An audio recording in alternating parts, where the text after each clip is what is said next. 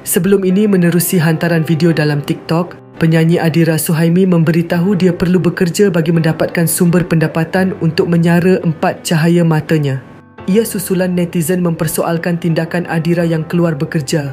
Meskipun belum habis tempoh edah selepas bercerai dengan bekas suaminya, Datuk Red pada 23 April lalu. Guys, jom subscribe drama tu bagi yang belum subscribe untuk lebih banyak infotainment dan informasi.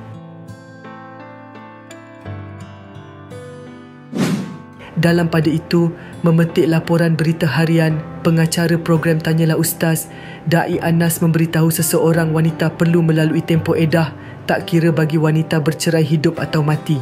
Berdasarkan ilmu dalam tempoh edah ada beberapa ruksyah atau ketetapan hukum disyariatkan dan keringanan diberikan. Contohnya sebelum ini ada seorang wakil rakyat yang kematian suami tapi keluar bekerja. Jadi ada pendapat lebih cenderung mengatakan kita perlu menjaga tempoh edah, tak boleh keluar dan melakukan perkara di luar hukum syarak.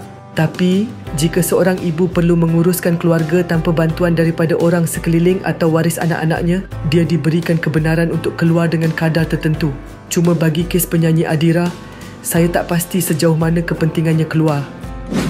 Kalau bekerja mencari rezeki, kita kena tengok juga kadar keperluan untuk keluarga tapi saya rasa tidaklah tiada duit langsung untuk makan atau minum.